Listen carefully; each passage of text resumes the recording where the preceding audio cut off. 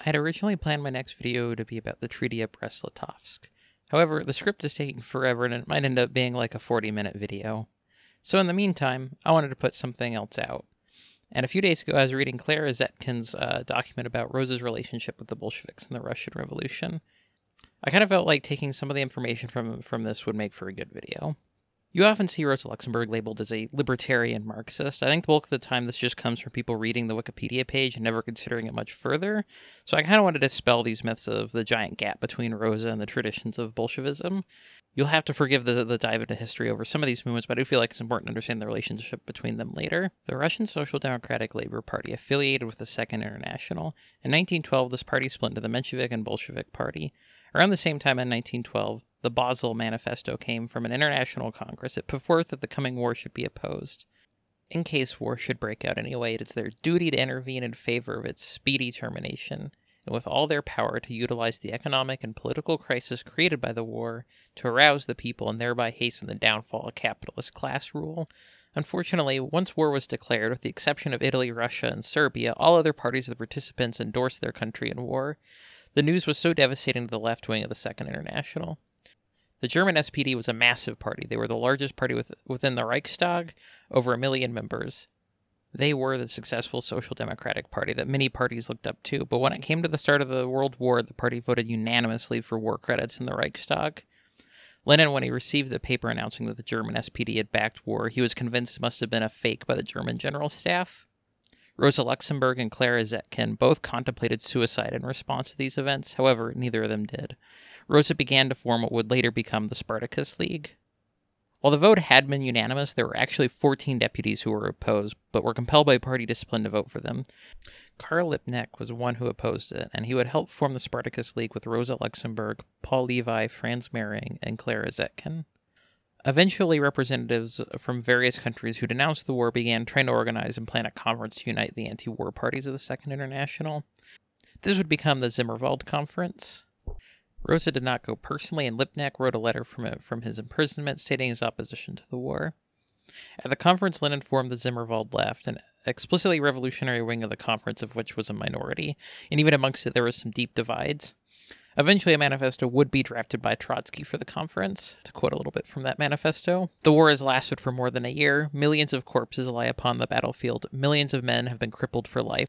Europe has become a gigantic human slaughterhouse. All science, the work of many generations, is devoted to destruction. The most savage barbarity is celebrating its triumph over everything that was previously the pride of mankind. Now the task is to enter the list for our own cause, for the sacred aim of socialism, for the salvation of the oppressed nations and the enslaved classes by means of irreconcilable working class struggle is the task and duty of the socialists of the belligerent countries to begin the struggle with all their power. It is the task and duty of the socialists of the neutral countries to support their brothers by all effective means in the fight against bloody barbarity. Never in the history of the world has there been a more urgent, a more noble, and a more sublime task, the fulfillment of which must be our common work. No sacrifice is too great, no burden too heavy to attain this end, the establishment of peace between the nations working men and women, mothers and fathers, widows and orphans, wounded and crippled, to all who are suffering from the war or in consequence of the war.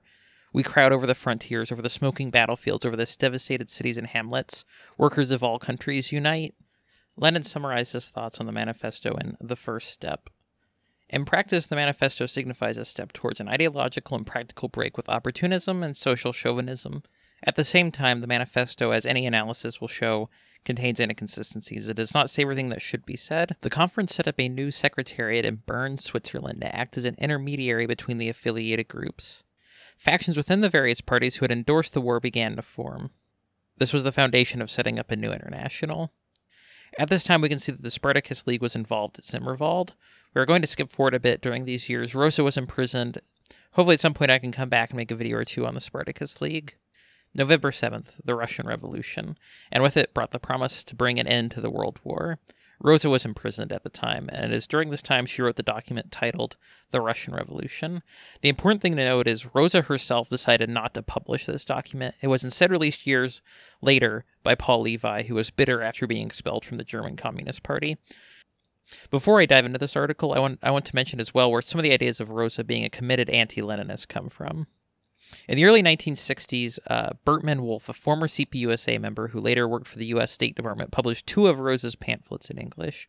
Though he changed the title from what Rosa wrote, Organizational Questions of the Russian Social Democracy was changed to Marxism versus Leninism, as well as publishing The Russian Revolution, the above mentioned article that Rosa chose not to publish herself.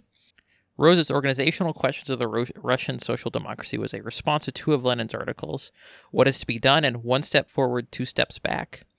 I see this often characterized as Rosa attacking democratic centralism, but the phrase never appears once in the pamphlet, and democratic centralism actually originates with the Mensheviks. I'm not going to spend a ton of time on this, as I think another person, pro socialism, has already done a very good video on what is to be done. I'll put it in the video description. Please go watch it. It is a very good video. But to make this short, people attempt to paint the tactics listed in what is to be done as Lenin's ideals policy are incorrect. To quote Lenin in 1907, the basic mistake made by those who now criticize what is to be done is to treat the pamphlet apart from its connection with the concrete historical situation of a definite and now long past period in the development of our party. If you really want a full breakdown, please go watch the above mentioned video, because I want to focus on the document titled The Russian Revolution. And remember, this was not a document Rosa published. This document is broken up into several chapters, which I'm going to go over. Fundamental significance of the Russian Revolution. I'm going to mostly skip over this, though, because it's not really a criticism. The chapter ends with Whatever a party could offer of courage, revolutionary farsightedness, and consistency in a historic hour, Lenin, Trotsky, and all the other comrades have given in good measure all the revolutionary honor and capacity which Western social democracy lacked was represented by the Bolsheviks. Their October uprising was not only the actual salvation of the Russian Revolution, it was also the salvation of the honor of international socialism. This is something you should keep in mind as we go through the rest. These are not words you would write for someone who you consider your enemy. The Bolshevik land policy. In this chapter, Rosa is criticizing the idea of giving land to the peasantry. She states, here, the property right must first of all be turned over to the nation, or to the state, which with a socialist government amounts to the same thing. For it is this alone which affords the possibility of organizing agricultural production in accord with the requirements of interrelated large scale socialist production. Though she does give concessions to the smallest of peasants, of course, it is not necessary to take away from the small peasant his parcel of land. We can with confidence leave him to be won over voluntarily by the superior advantage, first of union and cooperation, and then finally of inclusion into the generalized socialized economy as a whole. So the key points in Rosa's arguments is that if the peasantry confiscated the land from the large estates into their own ownership will become an enemy of socialism. She also talks of the chaos this caused, as well as stating that the decree of the peasants to seize land was taken from another party other than the Bolsheviks the slogan taken over from much condemned socialist revolutionaries, or rather from the spontaneous peasant movement. This last part is very true. This fact was known to the Bolshevik delegates of the Congress. Many delegates pointed this out to Lenin, who responded, So be it. As a democratic government, we cannot ignore the feelings of the masses, even if we don't agree with them. What also must be kept in mind is the composition of the Congress as well. At the opening, this composition, as was mentioned in my previous video, the Congress was made up of 300 Bolsheviks, 193 Socialist Revolutionaries, 68 were Mensheviks, and 14 were Menshevik internationalists. The population of Russia must also be kept in at this point. Peasants were the majority of the population, much of them desired land. The decree of land was less of a law passed that enabled the peasants to seize land and more of them legalizing what was already happening in the villages. In June of 1917, the peasants had already started seizing land. Opposing this would have been impossible at the time, even if the government wanted to. What Rosa is essentially calling for is forced collectivization of everyone but the smallest peasants. This is without a doubt something some Bolsheviks would have supported at the time, but I really think it would have been impossible to carry out at the time. The experience of the forced collectivization a decade later, I think, shows in part what would have happened had the Bolsheviks not supported the peasants in this. The nationalities question. Opinions on national liberation is somewhere Rosa, without a doubt, breaks with Lenin on. However, she is actually more in line with a good amount of the Bolshevik Party than Lenin. Let's go over Rosa's position in this document. This document gets a bit into Brest-Litovsk, but I want to save that part for my next video. Rosa spends a good amount of time attacking the ideas of self determination. If, despite all this, generally sober and critical politicians, as Lenin and Trotsky and their friends, who have nothing but an ironical shrug for every sort of utopian phrase, such as disarmament, League of Nations, etc., have in this case made a hollow phrase of exactly the same kind into their special hobby, this arose, it seems to us, as a result of some kind of policy made to order for the occasion. Lenin and his comrades clearly calculated that there was no sure method of binding the many foreign peoples within the Russian Empire to the cause of revolution, to the cause of the social, socialist proletariat, than that of offering them in the name of revolution and socialism the most extreme and most unlimited freedom to determine their own fate. Unfortunately, the calculation was entirely wrong. Rosa several times refers to this as a hobby of the Bolsheviks. She expresses and shows a severe dislike to any notion of Ukrainian nationhood. Since the Ukraine never formed a nation or government, was without national culture except for the reactionary romantic poems of Shevchenko. And this ridiculous pose of a few university professors and students was inflated into a political force by Lenin and his comrades through their doctrinaire agitation, concentrating the right of self determination, etc. To what was at first a mere farce, they lent such importance that the farce became a matter of the most deadly seriousness, not as a serious national movement for which, afterward as before, there are no roots at all, but as a shingle and rallying flag of counter revolution. She spends more time attacking the Brest-Litovsk Treaty, I don't know what other option Rosa might have seen. She really doesn't put forth an alternative idea. The options at the table at the time were revolutionary war against Germany, which was supported by Bukharin and others, or peace, which was supported by Lenin. On the question of national liberation, uh, this was not a common opinion of all the Bolsheviks. At the Seventh Party Conference in April 1917, Pyatkov and others tried to get rid of the position on self determination. That proposal failed. He made another attempt at the Eighth Party Congress. The slogan, the right of nations to self determination, which our party has held to from time immemorial, has shown itself in practice when it comes to the question of the socialist revolution to be a slogan which is a rallying point for all counter revolutionary forces. Bukharin as well made an argument against the current position on self determination, but he was not as fully against it as Pyatkov was. Lenin made a compromise with Bukharin on this position in order to defeat Pyatkov, whose position was much more anti national liberation than than Bukharin and Rosa Luxemburg. However, Pyatkov's attitude was popular with some of the parts of the rank and file. I think, given how the failures to properly combat, as Lenin would say, the great Russian chauvinist, really this shows this is possibly Rosa's worst position she expresses in this document. Suffrage, dictatorship, and democracy. These are probably the most often quoted sections of the Russian Revolution. They're often quoted to attack the Bolsheviks to show that they did their revolution wrong, um, that there were distortions in the name of Marxism. This is just very often using the reputation of Rosa Luxemburg as a revolutionary martyr to attack Lenin. Rosa herself, though, was critical of this attitude. Let the German government socialists cry that the rule of the Bolsheviks in Russia is a distorted expression of the dictatorship of the proletariat. If it was or is such, it is only because it is a product of the behavior of the German proletariat. And of itself, a distorted expression of the socialist class struggle. All of us are subjected to the laws of history.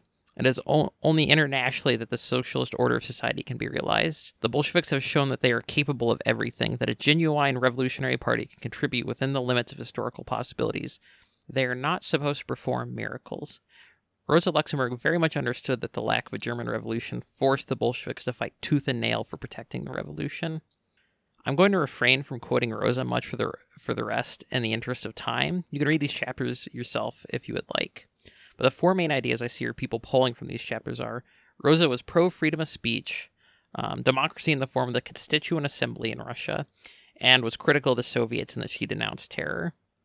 But we must remember this is a pamphlet Rosa herself never published. Claire Zetkin, one of Rosa's close political collaborators, produced the work I mentioned at the start of this.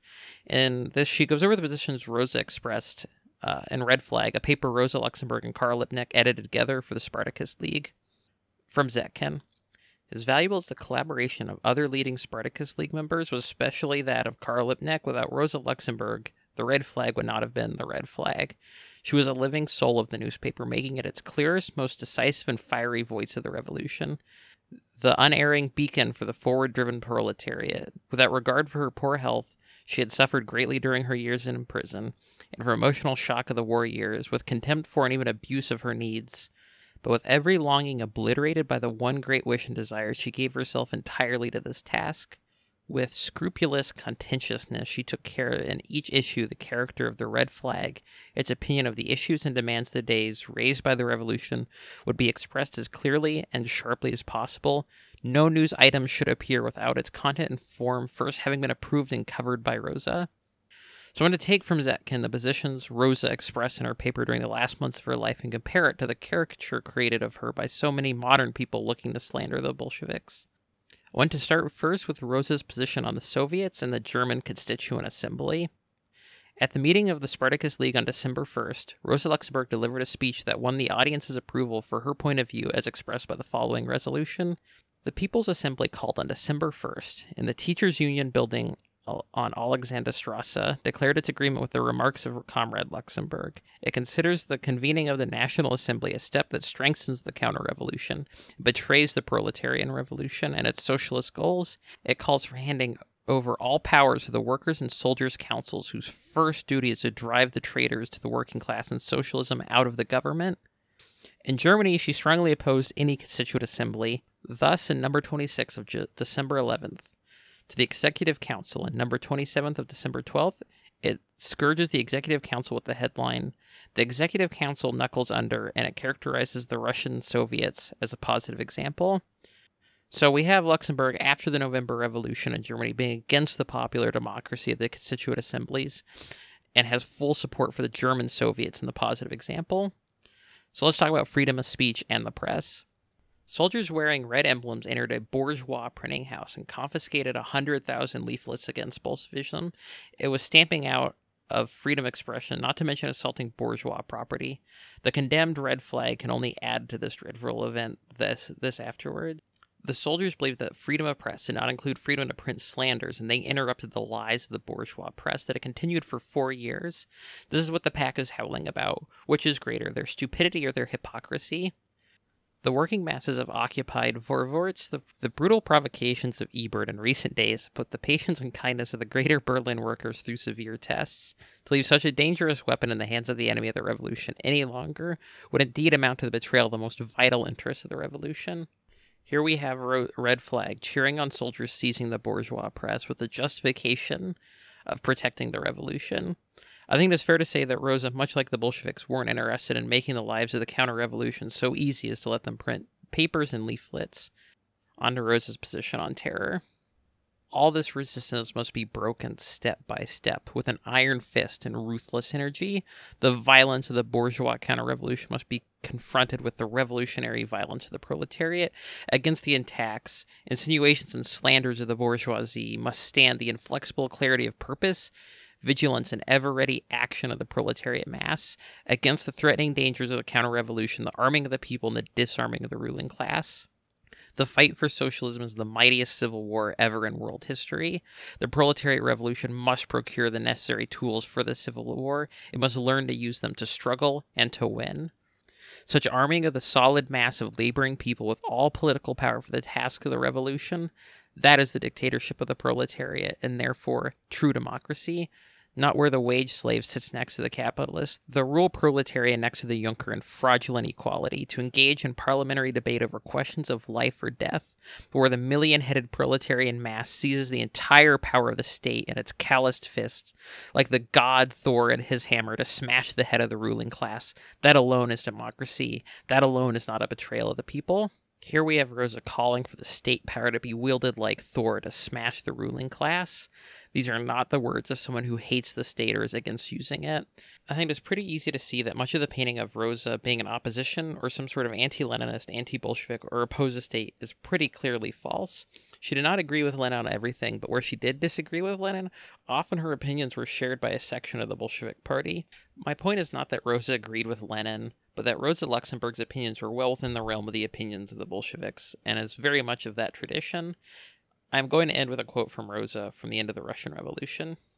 This is the, the essential enduring in Bolshevik policy. In this sense, there's the immortal historical service of having marched at the head of the international proletariat with the conquest of political power and the practical placing of the problem of the realization of socialism and having advanced mightily the settlement of the score between capital and labor in the entire world.